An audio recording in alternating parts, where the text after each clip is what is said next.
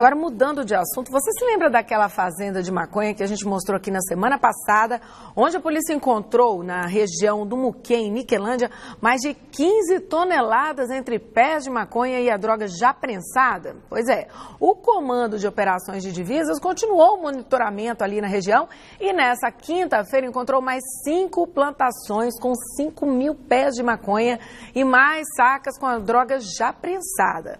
Os policiais arrancaram os pés de maconha colocaram fogo em tudo.